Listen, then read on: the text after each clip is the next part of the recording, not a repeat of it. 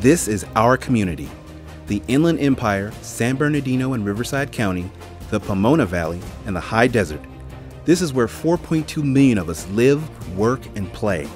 It's a place we care about, but it's also a region with deep needs. In this community, one in four children are living in poverty. And not only do we have deep needs, but nonprofit resources are few. The Inland Empire nonprofit revenue is just 26% of the statewide average. What this means is that every donation invested in Inland Empire United Way's Community Impact Fund is that much more powerful. Every day, we're creating brighter tomorrows by moving youth and their families towards self sufficiency. We feed hungry kids, connect the homeless with housing, equip students for academic success, and mobilize volunteers to make a lasting difference. With your help, lives are being changed in our community.